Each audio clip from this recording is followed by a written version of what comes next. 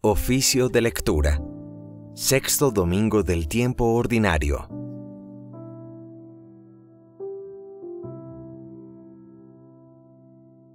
Dios mío, ven en mi auxilio. Señor, date prisa en socorrerme. Gloria al Padre, y al Hijo, y al Espíritu Santo. Como era en el principio, ahora y siempre, por los siglos de los siglos. Amén. Himno. Que doblen las campanas jubilosas y proclamen el triunfo del amor, y llenen nuestras almas de aleluyas, de gozo y esperanza en el Señor. Los sellos de la muerte han sido rotos. La vida para siempre es libertad. Ni la muerte ni el mal son para el hombre su destino, su última verdad. Derrotados la muerte y el pecado, es de Dios toda historia y su final. Esperad con confianza su venida, no temáis, con vosotros Él está. Volverán encrespadas tempestades para hundir vuestra fe y vuestra verdad. Es más fuerte que el mal y que su embate, el poder del Señor, que os salvará. Aleluyas cantemos a Dios Padre, aleluyas al Hijo Salvador, su Espíritu corone la alegría que su amor derramó en el corazón. Amén. Salmodia. Señor Dios mío, te vistes de belleza y majestad, la luz te envuelve como un manto. Aleluya. Salmo 103, primera parte. Bendice, alma mía, al Señor. Dios mío, qué grande eres. Te vistes de belleza y majestad. La luz te envuelve como un manto. Extiendes los cielos como una tienda. Construyes tu morada sobre las aguas. Las nubes te sirven de carroza. Avanzas en las alas del viento. Los vientos te sirven de mensajeros. El fuego llameante de ministro. Asentaste la tierra sobre sus cimientos, y no vacilará jamás. La cubriste con el manto del océano, y las aguas se posaron sobre las montañas. Pero a tu bramido huyeron, al fragor de tu trueno se precipitaron, mientras subían los montes y bajaban los valles, cada cual al puesto asignado. Trazaste una frontera que no traspasarán y no volverán a cubrir la tierra. De los manantiales sacas los ríos para que fluyan entre los montes. En ellos beben las fieras de los campos. El asno salvaje apaga su sed. Junto a ellos habitan las aves del cielo y entre las frondas se oye su canto. Gloria al Padre, y al Hijo, y al Espíritu Santo. Como era en el principio, ahora y siempre, por los siglos de los siglos. Amén. Señor Dios mío, te vistes de belleza y majestad, la luz te envuelve como un manto. Aleluya. El Señor saca pan de los campos y vino para alegrar el corazón del hombre. Aleluya.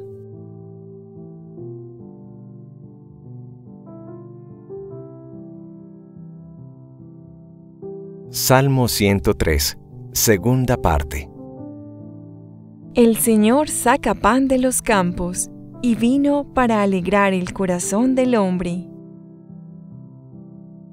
Desde tu morada riegas los montes, y la tierra se sacia de tu acción fecunda. Haces brotar hierba para los ganados y forraje para los que sirven al hombre.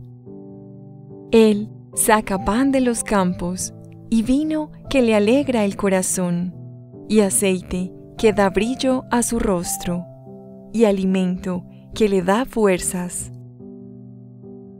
Se llenan de savia los árboles del Señor, los cedros del Líbano que Él plantó. Allí anidan los pájaros. En su cima pone casa la cigüeña. Los riscos son para las cabras. Las peñas son madriguera de erizos. Hiciste la luna con sus fases, el sol conoce su ocaso. Pones las tinieblas y viene la noche, y rondan las fieras de la selva. Los cachorros rugen por la presa, reclamando a Dios su comida.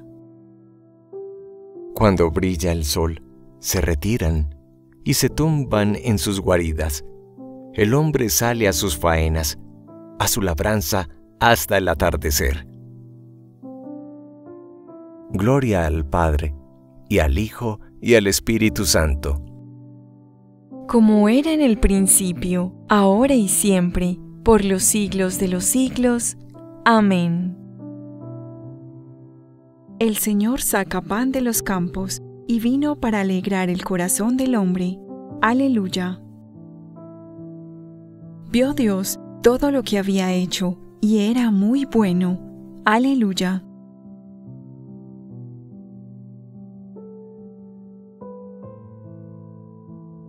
Salmo 103, tercera parte. Cuántas son tus obras, Señor, y todas las hiciste con sabiduría. La tierra está llena de tus criaturas. Ahí está el mar, ancho y dilatado. En él bullen sin número animales pequeños y grandes. Los surcan las naves y el leviatán que modelaste para que retose. Todos ellos aguardan a que les eches comida a su tiempo. Se la echas y la atrapan. Abres tu mano y se sacian de bienes. Escondes tu rostro y se espantan. Les retiras el aliento y expiran y vuelven a ser polvo. Envías tu aliento y los creas y repueblas la faz de la tierra. Gloria a Dios para siempre. Goce el Señor con sus obras. Cuando Él mira la tierra, ella tiembla. Cuando toca los montes, humean. Cantaré al Señor mientras viva. Tocaré para mi Dios mientras exista. Que le sea agradable mi poema, y yo me alegraré con el Señor que se acaben los pecadores en la tierra, que los malvados no existan más. Bendice, alma mía, al Señor. Gloria al Padre, y al Hijo, y al Espíritu Santo. Como era en el principio, ahora y siempre, por los siglos de los siglos. Amén. Vio Dios todo lo que había hecho y era muy bueno. Aleluya. Versículo. Dichosos vuestros ojos porque ven. Y vuestros oídos porque oyen.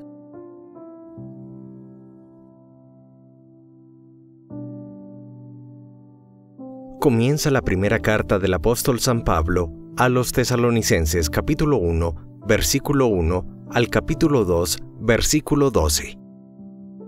Pablo, Silvano y Timoteo, a la iglesia de Tesalónica, convocada en el nombre de Dios Padre y en el de Jesucristo el Señor, gracia y paz a vosotros. Continuamente damos gracias a Dios por todos vosotros y os tenemos presentes en nuestras oraciones.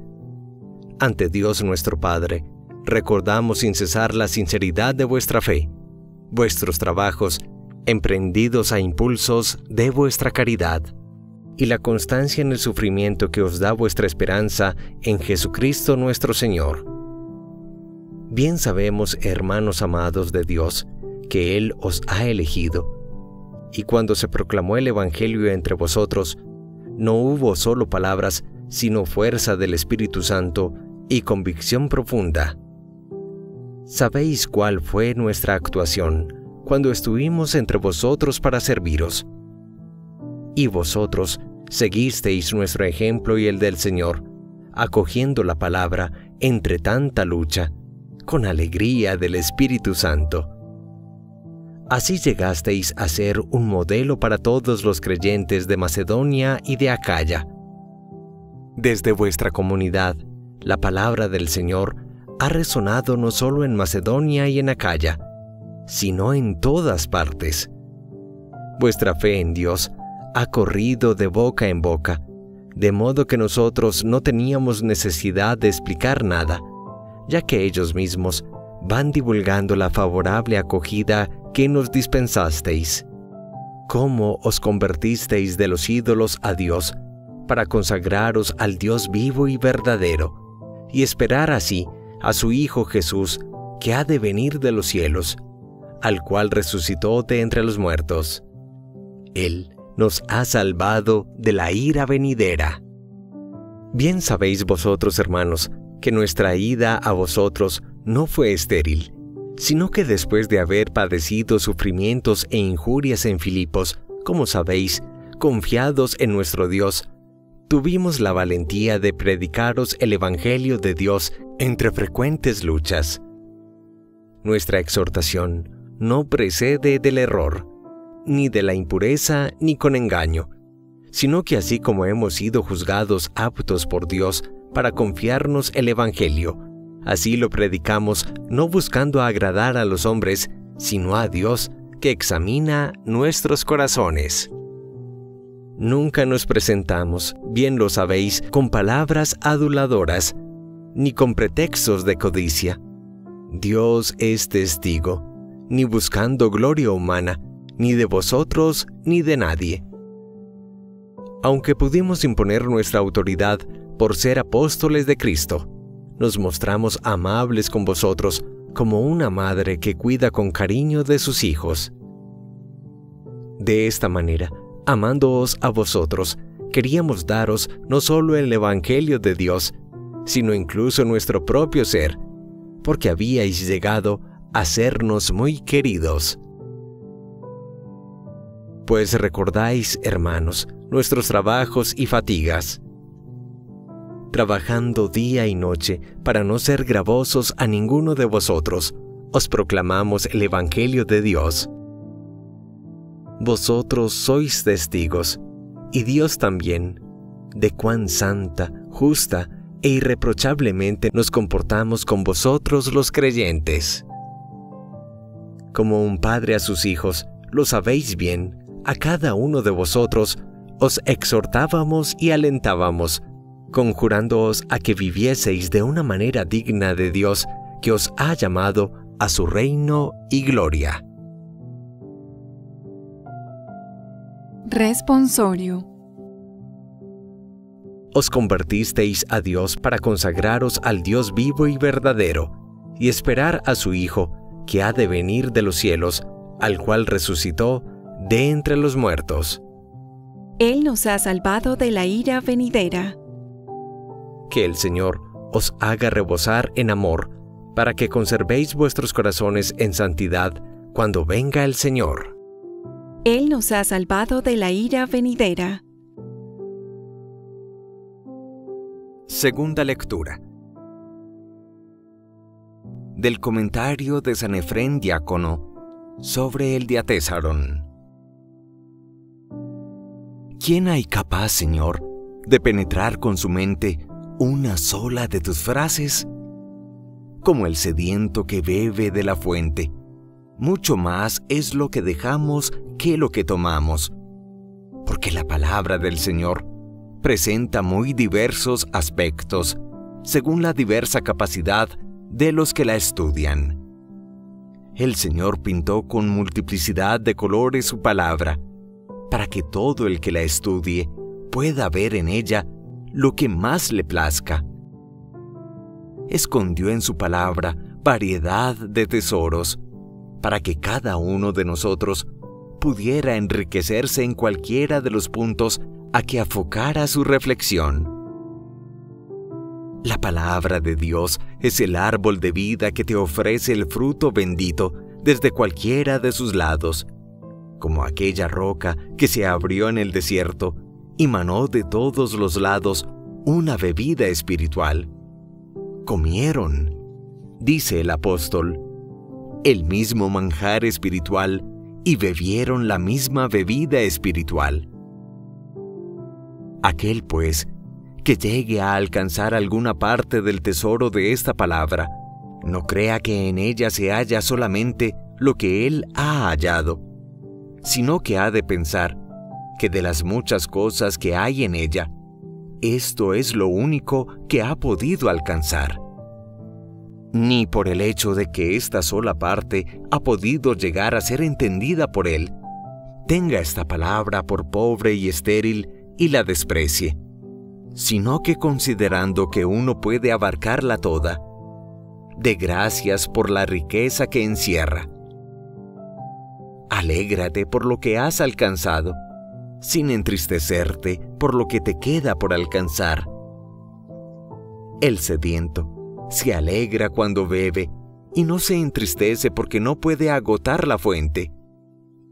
La fuente ha de vencer tu sed, pero tu sed no ha de vencer la fuente, porque si tu sed queda saciada sin que se agote la fuente.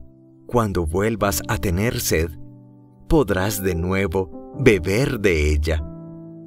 En cambio, si al saciarse tu sed se secara también la fuente, tu victoria sería en perjuicio tuyo. Da gracias por lo que has recibido y no te entristezcas por la abundancia sobrante lo que has recibido y conseguido es tu parte. Lo que ha quedado es tu herencia. Lo que por tu debilidad no puedes recibir en un determinado momento, lo podrás recibir en otra ocasión si perseveras.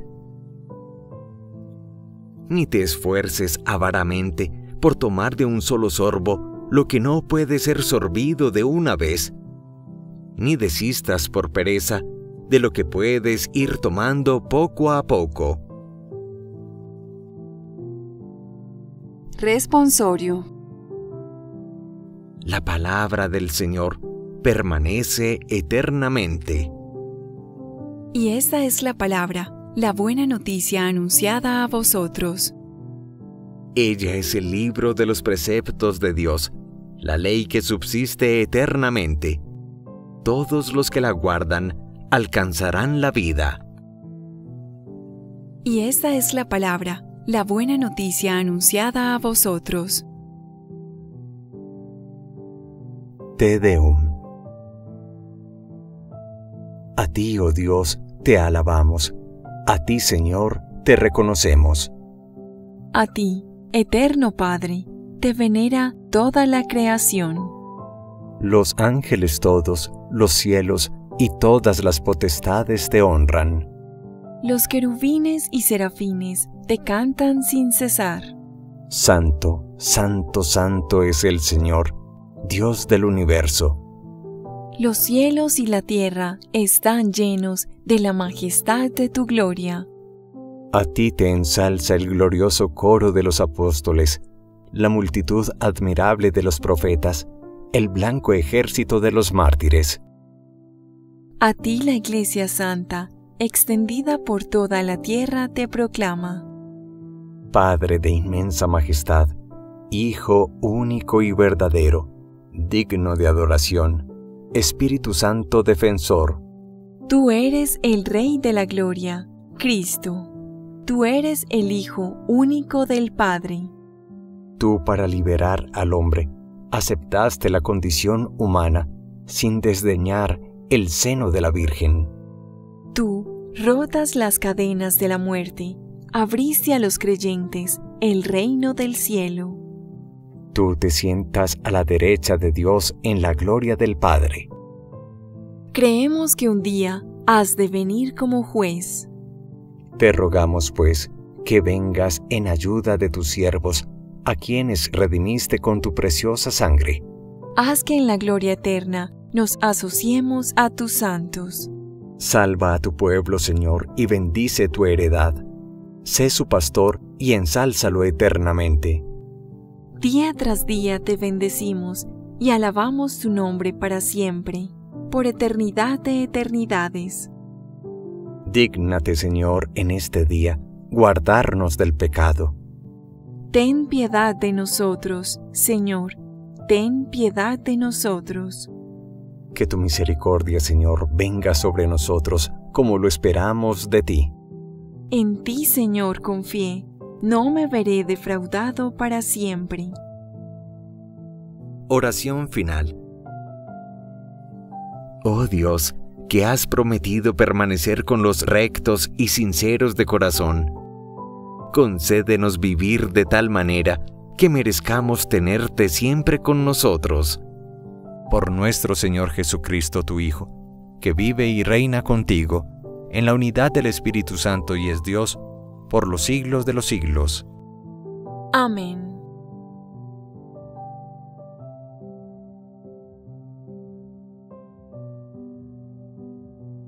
Bendigamos al Señor. Demos gracias a Dios.